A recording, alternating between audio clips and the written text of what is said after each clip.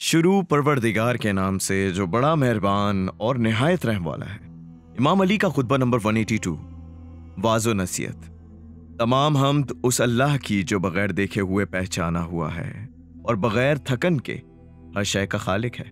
उसने अपनी कुदरत से मखलूक को पैदा किया और अपनी इज़्ज़त की वजह से फरमानवाओं से अपनी बंदगी कराई और अपने जूदो अता की वजह से बाज़मत लोगों पर सरदारी की। वो वही खुदा है जिसने अपनी मखलूक़ात को दुनिया में आबाद किया और जिनों और इंसानों की तरफ़ अपने पैगंबर भेजे ताकि वो इनके सामने दुनिया को बेनकाब कर दें और इसके नुकसानात से इन्हें डराएँ और इसकी बेवफाई की मिसालें इन्हें सुनाएँ और इसके अयूब समझाएँ और इन्हें दुनिया की सेहत, बीमारी के तगैरात से इबरत दिलाएँ और इसके हलाल हराम अतात गुजारों के लिए जन्नत और नाफरमानों के लिए दोजख और इज़्ज़त और जिल्लत का जो सामान इसने मुहैया किया है इन्हें पहचानवाएँ। मैं उसकी वैसी हमद करता हूँ जैसी हमद उसने अपनी मखलूकत से चाही है। और इसने हर शय की एक मकदार और हर मकदार की एक मुद्दत और हर मुद्दत को नविश्ता तकदीर यानी लिखी हुई तकदीर मुकर किया है। बस कुरान नेकी का हुक्म देता है, बुराई से मना करता है। चुप रहने के बावजूद बोल रहा है, दुनिया पर खुदा की हुज्जत है, जिस पर अमल का इसने बंदों से अहद ले लिया है और उन्हें इसका पाबंद कर दिया है। इससे नूर को कामिल और इसके ज़रिए दीन को मुकम्मल कर दिया है। अपने नबी सल्लल्लाहु अलैहि वसल्लम को इस वक्त उठाया, जब वो कुरान के ज़रिए लोगों को इन अहकाम की तबलीग से फारिग हो चुके थे, जो इनकी हिदायत का बायस है। लिहाजा हक सुबहाना उताला को ऐसी अजमत से याद करो, जैसे खुद उसने अपनी अजमत बयान की है। क्योंकि उसने अपने दीन की कोई बात तुमसे पोशीदा नहीं रखी ख्वा वो उसकी पसंदीदा हो या नापसंदीदा, उसने उसके लिए वाज अलामत और मज़बूत निशान कायम कर दिया है। जो नापसंद उमूर से रोके और पसंदीदा उमूर की तरफ़ दावत दे। आइंदा भी वो इन्हीं कामों से राज़ी रहेगा जिनसे अब राज़ी है और इन्हीं अफाल पर नाराज़ होगा जिनसे अब नाराज़ है। याद रखो कि वो तुमसे किसी ऐसी बात पर हरगिज खुश ना होगा, जिस पर तुम्हारे अगलों से नाराज़ हो चुका हो। और ना तुमसे किसी ऐसी बात पर नाराज़ होगा, जिस पर तुम्हारे अगलों से राज़ी हो चुका हो। तुम्हें चाहिए कि तुम पर वाजिया निशानों पर चलते रहो और वही कौल दोहराते रहो जो तुमसे पहले गुजरने वालों ने किया है। उसने तुम्हारी दुनियावी जरूरियात का जिम्मा ले लिया है और तुम्हें शुक्रगुजार रहने पर आमादा किया है और तुम पर फ़र्ज़ कर दिया है कि अपनी जबान से इसका ज़िक्र करते रहो और तुम्हें तकवा और परहेजगारी की वसीयत की है और उसको अपनी खुशनूदी की आखिरी हद और मखलूक से अपना मुतालबा करार दिया है। बस इस खुदा से डरो जिसकी नज़रों में हो, जिसकी कुदरत में तुम्हारी पेशानियाँ और जिसके कब्जे में तुम्हारा उठना बैठना है। जो बात तुम राज में रखो वो जानता है और जो ज़ाहिर कर दो वो लिख लेता है। उसने तुम पर निगरानी करने वाले मुकर्रम फरिश्ते मुकर रखे हैं, जो किसी हक को नजरअंदाज और किसी गलत बात को दर्ज नहीं करते और जान लो कि जो खुदा से डरेगा वो उसके लिए फितनों से निकालने की राह निकाल लेगा और तारीखी से रोशनी में ले आएगा और उसे हमेशा इसके हसब दिल ख्वाह मकाम पर रखेगा और अपने पास बुजुर्गी की जगह पर उतारेगा।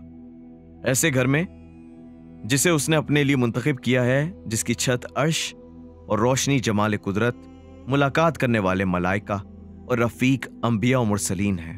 तो अब मात की तरफ़ बढ़ो, यानी उस जगह की तरफ़ जहाँ वापस जाना है। अमले खैर करने में मौत पर सबकत करो, क्योंकि करीब है कि लोगों की उम्मीदें कता हो जाएँ और मौत इन पर छा जाए, और इनके लिए तौबा का दरवाज़ा बंद हो जाए। क्योंकि तुम ऐसे मुकाम पर हो जहाँ अमल करने का मौका है, जिसकी तरफ़ तुमसे पहले गुजरने वाले पलटने की तमन्ना करते रहे। तुम ऐसे घर से सफ़र कर रहे हो, जो तुम्हारे रहने का नहीं है, और तुम्हें यहाँ से कूच करने का पैगाम दिया जा चुका है, और इसमें ज़्यादा राह मुहैया करने का हुक्म दिया जा चुका है।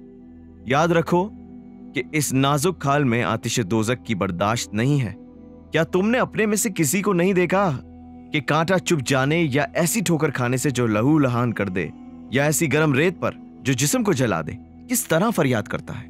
तो फिर उस वक्त क्या हालत होगी? जब आग का उड़ना बिछोना, तपते हुए पत्थर के साथ लेटना और शैतान के साथ रहना होगा।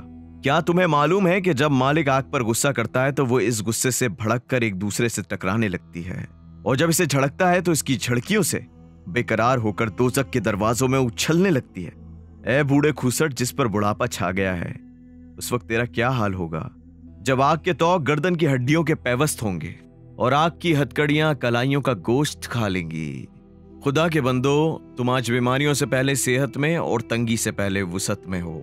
कबल इसके तुम्हारी गर्दनें इस तरह गिरवी हो जाएँ कि छुड़ाई ना जा सके। उन्हें छुड़ाने की कोशिश करो। अपनी आँखें बेदार और शिकम लागर रखो और अपने कदमों को काम में लाओ। अपने माल राय खुदा में सर्व करो। अपने जिस्मों की मादी कुतें अपने नफ्सों पर सर्व करो। और इन पर खर्च करने में बुखल ना करो।